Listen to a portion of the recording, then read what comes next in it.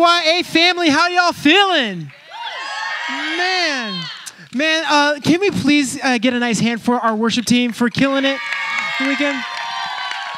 You know, the idea, like, you know, these are not worship songs, these are worship prayers, and we're just singing these songs, but they're really prayers written to the sound of music. And one of the things that was said in this, I mean, this is totally off topic. Uh, one of the things that we prayed or that we sang was, God, we give you permission. Our hearts are yours. I was like, man, who am I to give God permission, right? Like, that's so arrogant. Who am I to say that? Well, I'm exactly a human. And, and the, and the reality is, there's certain things that God doesn't get unless I give it to Him. There's like certain things. And one of those things is our worship.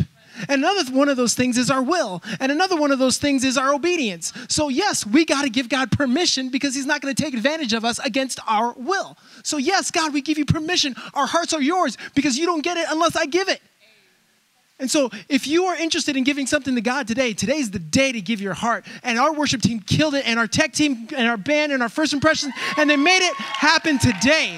So, thank you, thank you, thank you, thank you for creating an amazing environment where, that, where this can happen. Anyways, my name is Kelly. Hi. Uh, if this is your first time to RPYA, I'm just as crazy as that just happened, whatever that was.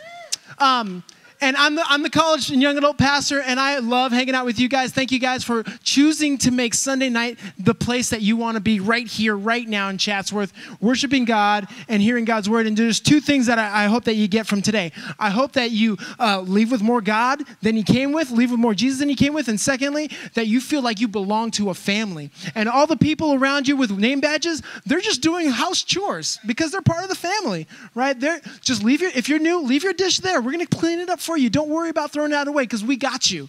All right? If you're sitting next to somebody, it's your first time, and they're wearing a name badge, they love you. Already you're accepted. In fact, right now, turn to the person next to you and give them a high five. Yes, a little bit of physical affection didn't hurt anybody. Just a little bit, not too much. All right? So, we're in a series called Soul Detox. I better get into this message before I just, just keep preaching. We're excited about Soul Detox. Man, I, I am. I mean, I, we live in a society that's constantly detoxing their bodies. I went to Press Juicery and I was like, man, I just need a cleanse, man. I've been eating a lot of bad food. So I drink this thing. It's like cayenne, lemon juice, pepper, and then it goes in one end and it burns, and it burns just as much coming out the other. And it's just horrific, right? Right? It's a physical detox, right? Because we care about our body and we do things to detox our body, but the reality is there's two parts of us. There's the eternal part of us, which is our soul, that also needs to be cleansed too, because through life, you picked up some stuff that is kind of nasty. It's kind of like secondhand smoke. Let me tell you a little bit about my life. Um, my, my dad is a black man from Ohio. My mom is a white woman from Encino. And somehow they came together to make this beautiful chocolatey goodness. But as amazing as this is, um, I grew up in a pretty tumultuous, like, uh, you know, like messed up home. Uh, my, my, my parents were drug addicts. Uh, my, my dad was a, literally uh, a pimp uh, not in a good way, not in the Snoop Dogg like glorified way, but in a, like a disgusting, gross, call the cops kind of way. And um, and and the cops came to my house a lot growing up, and and my my mom and dad they not only sold drugs, but they were also consumers of it. And so I lived in an environment where I was inhaling, breathing, and experiencing the secondhand toxins that my parents were ingesting. Even one, one memory comes to mind is that I came out into uh, the living room area, which we, I really didn't have my own room, but so I, I, but let's, for the sake of the story, call it my room. I came out of my room into the living room. My parents are there, and there's this white cloud of smoke that I was breathing in. Different than like gray smoke. But then later on, I realized this white smoke indicated crack cocaine being smoked in my house, and I was ingesting this uh, as, a, as a young boy. And as a result, I, I don't know if it's that or just other things, I ended up contracting uh, asthma, uh, chronic asthma. In fact, I everywhere I go, I have to live with an inhaler every single day. I live and breathe off of a little blue like pump, you know, as a result of the toxins that I caught from other people's decisions. Now, I understand that this is a result of, of a physical experience that my life is affected by other people as a result of a physical experience. I caught secondhand smoke. But the truth of the matter is, is that our hearts are catching secondhand smoke from the world around us and the decisions that they make. And the, and the secondhand smoke that our hearts contract is a restless soul, a restless soul. See, our world judges your value based on what you can produce. And it causes us to be busy and spin and toil and live in chaos. And even if you're not chaotic, the people around you are. And when you try to rest your head at sleep, uh, rest your head to sleep at night, somehow our brains keep moving and our hearts won't sit still because we need to detox from the restless soul of life that we live in because we caught the secondhand smoke of a, of a busy world. So, the question that I want to pose to us today is where do we find rest for our souls? Where do we find rest for our souls? I like how Solomon put it. We just got out of a series called Better Call Solomon, but but I like how Solomon puts it in Ecclesiastes 2:22. What does a man get for all the toil and anxious striving under the sun? Even at night, his mind doesn't rest. Does that sound like anybody here? Because if so, you might need a detox from a restless soul. So, how do we find rest for our restless soul? Well, before we can answer that question, you need, you need to understand one thing. Uh, there's a couple things you need to understand. Hold on.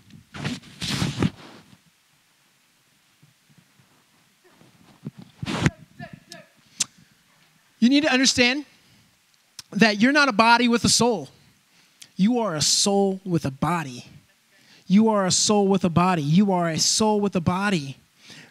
See, Matthew 10, 28 expresses this. This is Jesus talking about the difference because here's the, the reality is, is that we are afraid a lot of things. Some of us are afraid of our lives being taken from us. Some of us are afraid of being violated, right? Some of, I have I have irrational fears of needles. I hate needles. I won't even get like my blood checked. I hate them. Like even going to Uganda was like a stretch and I, like my wife was sitting next to me and I was like trying to like mm, you know, like I was trying to like play it cool like I'm a masculine man. Like my, yeah, go ahead. Ah, it's just, I hate needles. I hate spiders. I don't even like crickets. Like if there's too many legs, I just, ah, it's so bad.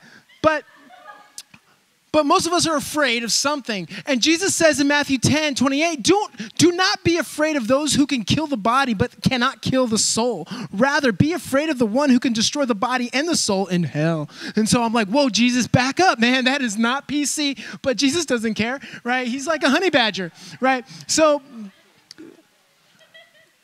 Jesus here is expressing that there's certain things that are, that are eternal and there's certain things that are temporal. And the eternal things are the things that God is in charge of, and the temporal things are the things that are all around us that we can see. But unfortunately, we're too concerned with what's happening on the outside than what's happening internally on the inside. We need to live an inside out kind of life because we are souls with a body, not bodies with a soul. So it's important that we think inside out type of living because the world, listen close, the world says when things on the outside get crazy, neglect the inside. When things on the outside get crazy, like a job, a boyfriend, you start worrying like, oh my gosh, is he gonna still like me after I tell him this? Or, oh, you know, this happened and I don't know if we're gonna make it. Like, you just start getting crazy on the outside. Things get crazy. Uh, you, you have, you know, your car gets in a wreck or your family gets, you know, split up or you know holidays are coming. You like things like that start happening we start to neglect the things on the inside. We stop showing up to life group. We stop memorizing bible verses. We stop praying. We stop fasting. We stop listening and reading our, our rooted books because we neglect the inside in order to take care of the outside. But the bible says that we need to take care of the inside because it's the inside that matters and not the outside because God is concerned with your soul when the rest of the world can care less because all they can care about is what you can produce and how much you can make for them and how much you can make for yourself. We need to live an inside out type of life. And if it helps you to think of the movie, go ahead because we can't neglect the inside. In fact, when things get crazy on the outside, we need to double down on the inside. Double down on your prayer life, double down on your fasting, double down on your relationships with godly men and women. Right? Do not neglect the inside to take care of the outside. Do not. So, in order to have a conversation about detoxing from a restless soul, you need to understand first that you are a soul with a body. Your, your body is a house for your soul. The deepest part about you is not the fact that you are wearing awesome clothes, that you have an awesome job, that you can do amazing things. Because if all those things were gone, you would still be you. There's a book by the name of Stomping Out by the name of um, Stomping Out of Stomping Out the Darkness by Neil T. Anderson. I highly recommend it. And he says this, and I'll say it too. If I were to ask you, who are you? You might say, My name's Johnny. And I would say, No, that's your name, but that's not who you are. And you'd be like, Well, I'm, uh, I work at Chick fil A. And I'd say, No, that's where you work. That's not who you are. And you're like, uh, Well, I, uh, uh, I'm an awesome snowboarder. I'm like, no, that's your hobby. That's not who you are. Because if you lost your legs, lost your job, and even lost your name, you would still be you. So we need to stop identifying ourselves based on what we can do and start identifying ourselves based on what is true. And the truth is that you are a new creation in Christ Jesus. Operative word in Christ Jesus. That God set you apart, and then God made you, and He doesn't make junk. That He is a king, and He deemed you His child and given you access to the throne. He's given you an inheritance when you didn't have an inheritance. Like there's so much more to you than what you attribute to yourself sometimes.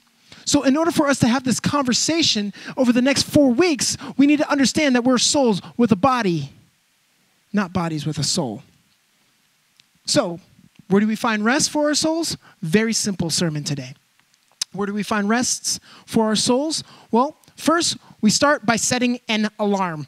Setting an alarm. Setting an alarm. Anybody set alarms? Yeah. Okay, anybody does? Uh, how many of you are snooze button people? Yeah, my wife is a snooze button people. Uh, she is literally, she's got great intentions. So she's like, all, like the night before, she's like super ambitious. She's like, I'm setting my alarm for 6 a.m. I'm like, sure, honey, go do it. And um, I'm like, you already know how this is gonna end. And so do I. so 6 a.m. happens. Bing, I'm up. Her alarm's going. She's, of course, hits the snooze button. All right, I go up and I do my thing. And like literally, you know how snooze buttons work, right? Yeah. Like every 15 minutes, it's just like bring, and then you're like, uh, right? And it's like the worst possible sleep you can ever give yourself. This is to be waking up every 15 minutes. So, anyways, this goes on for Michelle for two and a half hours. Six o'clock to 8:30 right? I'm like, how, why are you, you are a glutton for punishment, my, my sweet honey buns. Like, why would you do that to yourself? It's just, it's the worst thing you could do. Like, I don't know, I don't get it, but she does, and my job is to empathize. It's all good, sweetheart. I learned that in counseling last week. Thank you. Where was I? Oh, yeah, alarm. um, do you know um, there's another type of alarm you set. You there's another type of alarm that you want to set is the kind of alarm that you set when you're trying to protect something valuable right? When you're when you have valuable things like you might have like valuable stuff. I don't know i'm not at that level yet but you might have some valuable things like diamonds or you know or guns or whatever. Uh, you set an alarm you don't want people stealing your guns or your diamonds. I should have thought that one through. Um, but you set an alarm when you have valuable things. And, the, and one of the most valuable things that you have is, is, is peace. is peace, especially if you are a Jesus follower, because Jesus is called the Prince of Peace, right? And if you're not experiencing peace, somebody's trying to steal it. Well, let me tell you who's trying to steal it. Okay, let me let me tell you. John 10 10. John 10 10 says this The thief comes to steal, kill, and destroy. This is Jesus telling you about a thief that is coming to steal, kill, and destroy. And Jesus contrasts himself by saying, But I have come that they may have life and life to abundance. Right? So God has this plan to give you an abundant life. But the reason why you're not experiencing it is because you are interacting with a thief somehow right, that is trying to steal, kill, and destroy you. Like literally, if you think about it, that's like somebody coming into your house, stealing something very valuable, like your diamonds, and then trashing your house and breaking things and pushing things over, and then on the way out, they just shoot you in the head, right? Steal, kill, and destroy. Now, notice the operative word here thief. You know the difference between a thief and a robber? Yeah. See, a robber steals through force. But a thief steals through deception. And so, if the enemy can get you to believe that you are worth nothing with unless you produce unless you are busy unless whatever like he he might even fool you into thinking being still and being quiet before the lord is lazy and if he can get you to believe that he gets to steal your peace so the only way to get around that is setting an alarm.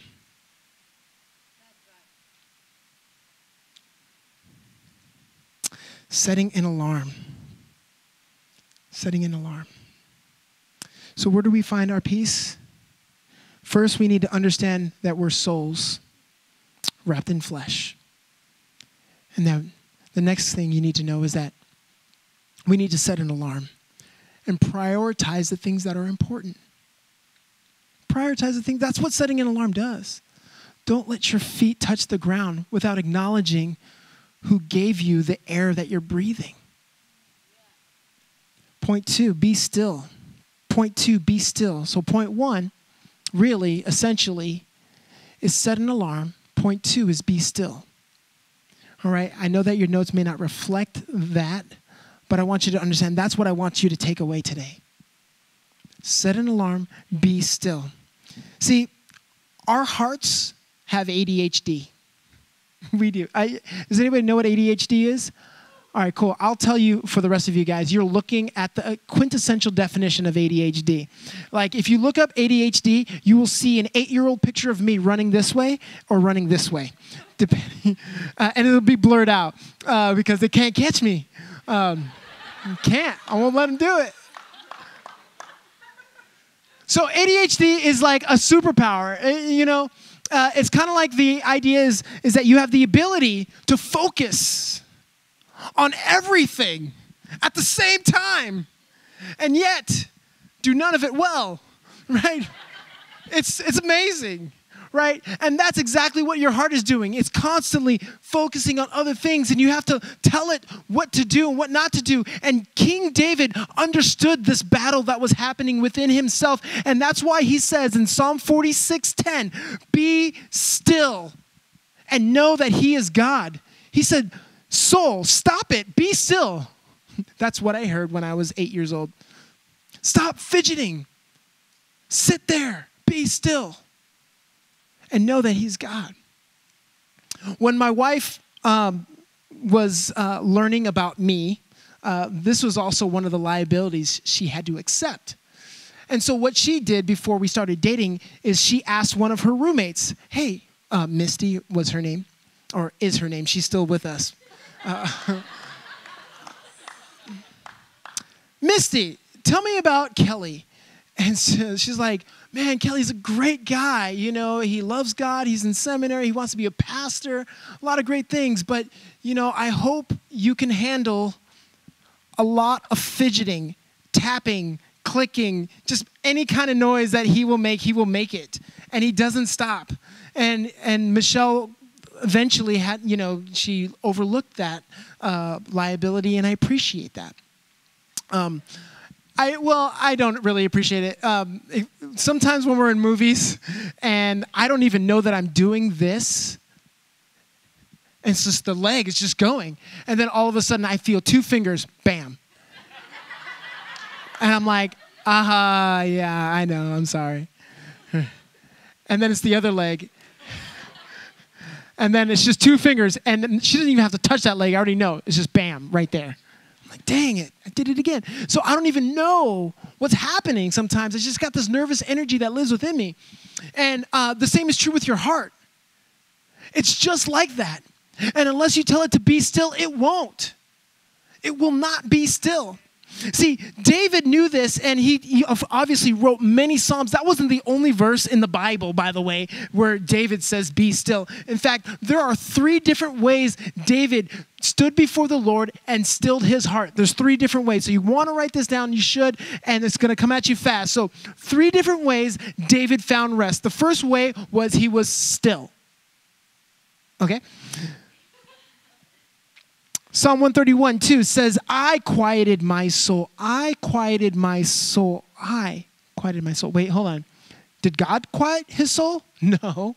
David did. So if you want a still heart, don't wait for somebody. Don't wait for the circumstances to be perfect. Don't wait for it not to rain. Don't wait for you not to be tired. Just do it. I quieted my soul. He took responsibility and quieted his soul before the Lord. The second thing that he did, he waited for the Lord, waited for the Lord. Psalm 37 7 says, Be still and wait for him. Wait for him. That is so hard. We live in such an instant society. Instant society. Patience is not characteristic of this generation. In fact, we are considered one of the most impatient, ungrateful generations that has ever graced this earth. So much so that even when talking about telephones, like in my day, when I had to make a phone call, um, I had to use a rotary phone that I had to like have ones and zeros that had to go around, and I had to physically like wrench that thing around, and there was sparks and clicks, and it somehow made it over to somebody, and hopefully they were home at the right time, because if not, they had to like I had to leave a voicemail, and if they got the voicemail, they would have to find a time to call me back. And if we couldn't find times, we had these little pagers that we can like link times. And, and if you don't know what a pager is, it's kind of like a calculator that talks to other calculators, and all you can do is communicate numbers. It sucked. Um, but now, like when you want to send a selfie to somebody in Florida, like you, you're like, did you get it?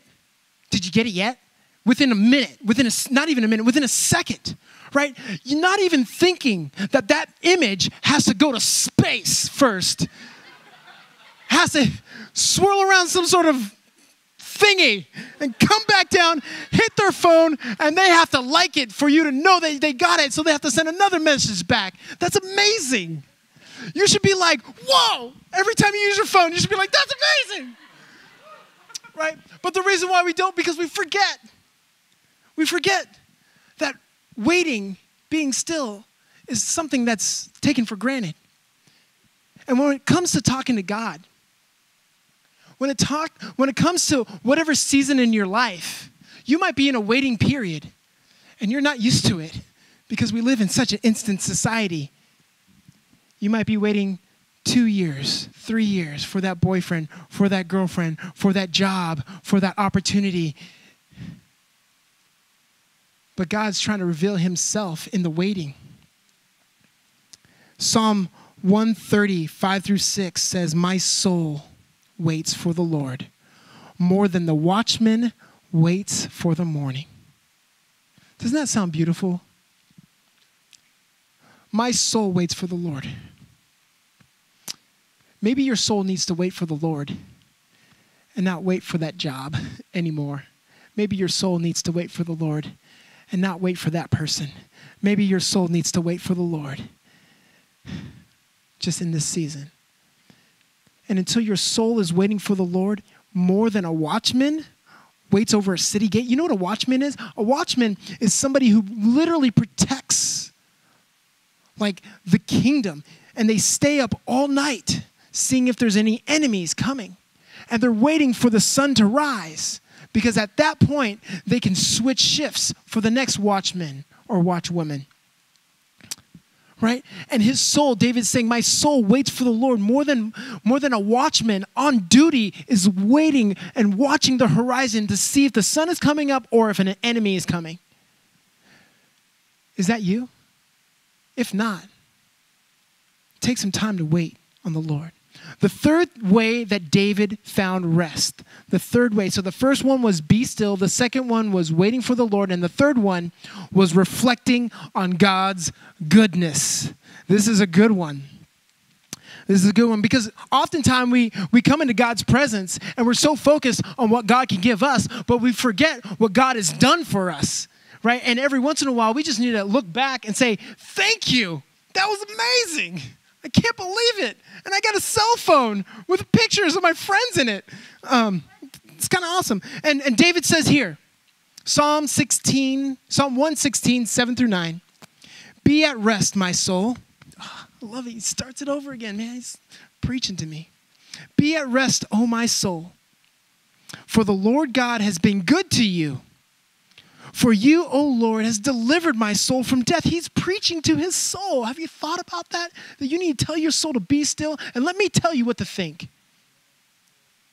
Be at rest, O, o my soul, for the Lord God has been good to you. For you, O Lord, has, has, has delivered my soul from death, my eyes from tears, and my feet from stumbling in whatever season of life, maybe, maybe you just need to reflect on God's goodness. And you, maybe you need to wake up tomorrow and just thank God that He's answered prayers. And maybe you need to wake up tomorrow and thank God that Jesus died the death that you deserve so that you can live the life that you could not live. And maybe tomorrow you need to wake up and you need to thank God that He's working all things for your good because you love Him. Maybe tomorrow you need to wake up and thank God for blessing you with a hope and a future because He has plans to give you that hope and plans to give you that future and plans not to harm you, but to make you prosper. And maybe today, right now, in this place, we need to thank God.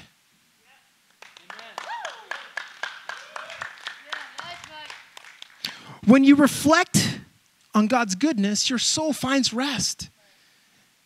And when you here's a here's a trippy thing. If you say it out loud, it changes everything because you cannot say and think something at the same time. You can't say thank you, God, and think, oh my gosh, my bills. Right? You can just thank you, God, that I have a car, that I have a house, that it's raining outside and rain is not falling on my head. Right? It's hard to say that out loud and talk, say something, and think something else. So you can actually talk yourself out of a bad mood. So, where do we find rest for our souls? We be still, we set an alarm. Be still, set an alarm. Hmm. Crazy thing about setting an alarm. Um, I, uh, I, uh, I used to run a D- well, I still run a DJ company, but I used to go on tour with a lot of celebrities: Luke Bryan, uh, Pitbull, Lenny Kravitz, OneRepublic, you know, CeeLo Green, all those guys, and um, and I made friends with a lot of these guys. And when they found out that I was like going into ministry, that this was not my thing. Like I'm not trying to become famous. I'm actually just using this to pay for school. Um, and they, they, they, they, you know, became friends with me and they liked my story. And they actually gave me access to places that I never thought I would get access to. Go figure. Um, and uh, one day, my wife and I, we were walking to uh, the mailbox and she pulls out an envelope with my name on it. And I was like, well, this is, I don't really get a whole lot of mail. And said, you know, to Mr. McCoy. And so I open it up and it's a really nice, like, letter. And I realize that this is an invitation. And I'm reading the invitation and I realize I'm being invited to the White House for a pastor's breakfast. I was like, you gotta be kidding me. I'm gonna see the first black president of the United States. I'm going to meet the most powerful man in the free world. I can't believe this. And so the only catch was I had to, you know, uh, catch my own flight and get my own accommodation. So I was like, deal. So my wife and I, we fly out to Washington, we get an Airbnb, and uh, the breakfast is at 8 o'clock. So I know that I need to be, you know, up at six, out the door by seven, because security is going to happen. You know, I, so it took me 30 minutes to get to the house, and then 30 minutes for security, and then finally, I'm eating waffles with Obama. All right.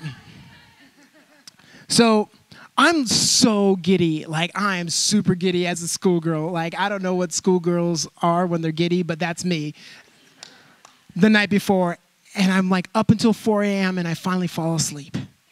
And it seemed like it seemed like a, like a second went by. And then all of a sudden I hear a doo doo doo doo doo on the door. I wake up and it's Michelle. And she's like, she's like, Kelly, it's 10 o'clock. You forgot to set your alarm. You didn't wake up.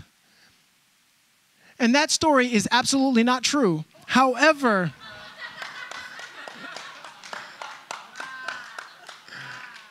however, what is true, what is true,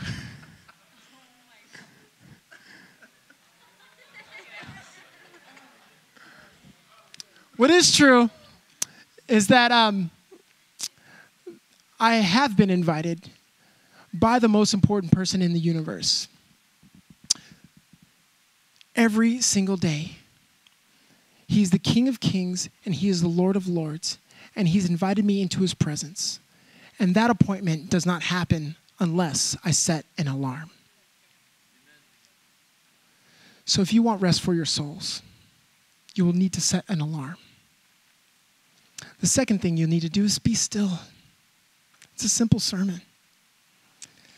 You know, my, my dog, Mr. Snuffy, you, of course you do. Um, here's a picture in case you don't remember what he looks like. Yeah. Um, Mr. Snuffy, he, he's got the opposite of being cross eyed. He's wide eyed. So he's got like GoPro vision, so nothing nothing really sneaks up on him because he, he's like he's like Google Maps, you know. Just swipe. All right, we're good. Um, and so Mr. Snuffy, he like the fulfillment every morning. He like like he doesn't he's not allowed to jump on the bed so he jumps like as close to the possible he's like eh and his legs are too long so he can't really jump up he always needs help because i have like a hardwood floor so like every time he jumps he like slips uh, so it's actually really fun to watch. But he cannot wait to go outside. He cannot wait every morning. He like his heart's desire is to run free and smell all the trees he wants. But he cannot go outside without a leash because I'm afraid that another dog much bigger than him will eat him right? I'm also afraid that he might get spooked and run into traffic. Right? So I'm afraid of those things. So I want him to go outside. I want him to experience the fullness of the bright Monday morning.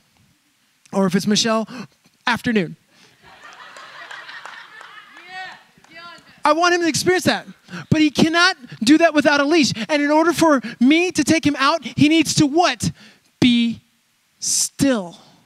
And we have a, we have a vision statement at Rocky Peak to create a movement of passionate Christ followers who are unleashed, unleashed, who are serving sacrificially, loving God, who are pursuing God, loving people, and sharing Christ. And, and in order for you to be unleashed, you need to put a leash on that soul of yours because it will not be still unless you tell it to. So set an alarm. Be still. Let's get the band up. It's time for us to be still. I'm going to give you an opportunity to do that tonight, actually. God does not want us to be riled up on the inside. God wants to deliver us from the restless chaos that exists in the world around us and remind you, let me remind you, you can be very busy and yet experience peace because you're a soul with a body. And you can set an alarm and you can be still. So, what I want you to do is this every day, I want you to take this challenge. It's called the five minute challenge. And what I do in this five minute challenge I wake up and uh, I do what I, I do physically what I want my heart to do. So I get on my knees, right? Nothing uber spiritual about that. I'm just reflecting what I want my heart to do. I get on my knees. And then I do not pray. I do not ask God for stuff. I do not talk to God about what I'm worried about because that's another part of my prayer. I'm not saying you don't pray those things. I'm just saying in the five minute challenge, all you're doing is telling your heart to be still. Oh, first thing I do is set an alarm and I do not hit the snooze button. And, and when, when, I, when, when I sense that my heart wants to go different places and starts to think about old relationships or relationships that I want or the things that I have to do, or even my first meeting, or an email that I got yesterday, or the expectations of my friends and family, and my heart starts going there, I say, Be still. And I start to quote the, the 23rd Psalm. Does anybody know what the 23rd Psalm says? It says, The Lord is my shepherd, I shall not want. And for some reason, that, that clears my soul so that I can experience the Prince of Peace. And if you're a believer in Christ Jesus, you need to be experiencing this peace. And if you're not experiencing this peace, you need to tell your heart to be still. The Lord is my shepherd, I shall not want. The Lord leads me beside still waters. He makes me lie down in green pastures. And I just stop there and just say, still waters, green pastures, still waters, green pastures. And when I do this, it's a five minute challenge. So I set my alarm for five minutes. And I just sit there. Still waters, green pastures. Still waters, green pastures. And maybe you're here today and you don't know where to go, you don't know what to do, but you have a restless heart. And maybe you need to know that Jesus is, is inviting you. In Matthew 11, he says, Come to me. Come to me. All you who are weary and burdened, and I will give you rest. Not for your bodies but for your souls. Will you take the five minute challenge this week? And will you find peace in the midst of a restless society? And you can choose to set an alarm and be still. Let's pray.